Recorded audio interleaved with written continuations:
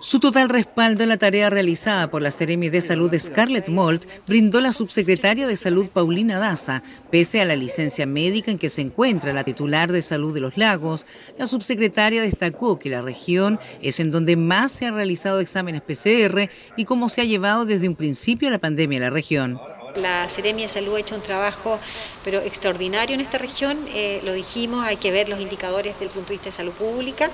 eh, que desde el punto de vista de testeo es la, eh, es la región que donde más se testea desde el punto de vista de trazabilidad. La trazabilidad se lleva en un porcentaje sobre el 90% y también el aislamiento, hoy día ustedes tienen 11 residencias sanitarias con ocupación de 70%.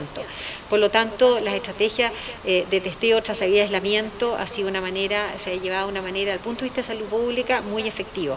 Lo segundo es decir que hay que recordar que esto es un virus tremendamente contagioso, que es una pandemia mundial. Yo quiero eh, eh, poner en contexto lo que está pasando en Europa.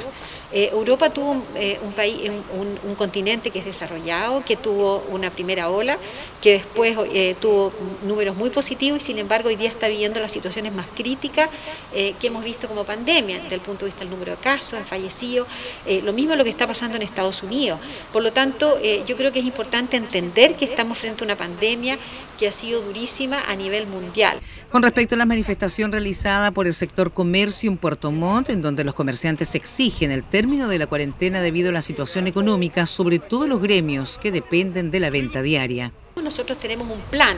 un plan para contener la pandemia, que es el plan que hemos llamado paso a paso, y que este, este plan paso a paso para poder avanzar y retroceder está basado en indicadores sanitarios bastante estrictos, indicadores epidemiológicos, que está dado por el número de casos activos, por la positividad, por el RE, ¿no es cierto?, la contagiosidad, la red asistencial y también la trazabilidad. Por lo tanto, en función de cada uno de estos indicadores, aquellas comunas que vemos que eh, cumple con los indicadores